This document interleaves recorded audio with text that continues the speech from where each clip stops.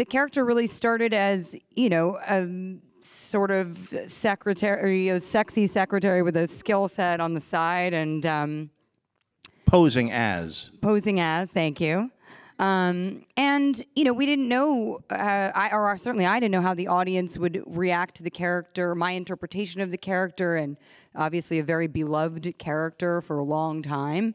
Um, and you know, I feel, and then the next time that we saw her in Avengers, she was sort of one of the boys, uh, for better or worse, and that you know made sense then. And um, you know, as I think the fans and the audiences have really pushed, you know, certainly Marvel, but pushed all all the studios and and filmmakers to really, you know, throw up on the screen what represents what's going on in the zeitgeist and wanting to see, you know, uh, diverse uh, films and uh, cast that represents how they, you know, their own aspirations and how they feel.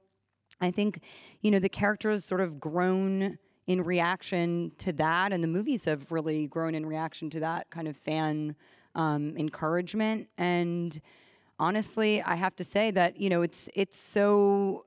I remember, you know, when Lizzie signed on, and I was so, and Cobie was there, and you know, I was, we were all clinging to each other just to, you know, I felt like I'd been in this like testosterone fest for such a long time. It was so nice to see like other female cast members, and then, you know, with Brie coming on and Karen and Danai, and you know, uh, it, it just it's become it's really, you know, I feel like I'm in um, just this you know, I'm amongst so many wonderful actors, so many strong actors, and uh, and such, you know, such a.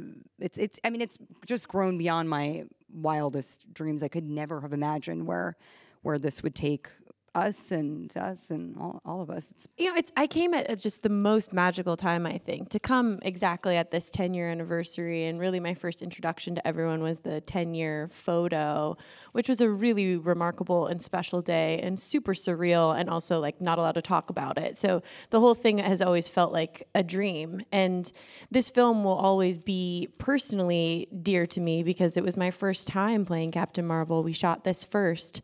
Right. So I had to stumble and try to figure out who this character was with no script for this and, and no script for uh, Captain Marvel either, and um, perform for the first time in front of you know legends.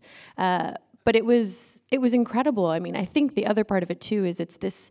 The set feels like this balance of as big as it is, it still feels like a bunch of kids like just like what I was doing over summer break, making movies in my garage, there's still this sense of wonder and play and encouragement. And um, of course, we this film deals with some heavy subject matters, and so you're bouncing in between things that feel very deep and serious, and then we're going off and, and playing boggle, which I am very good at.